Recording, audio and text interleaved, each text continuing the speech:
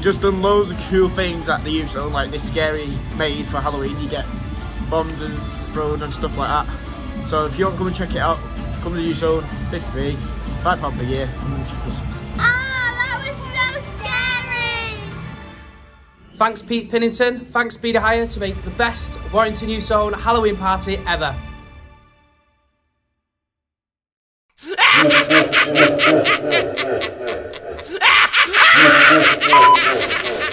Uh, uh.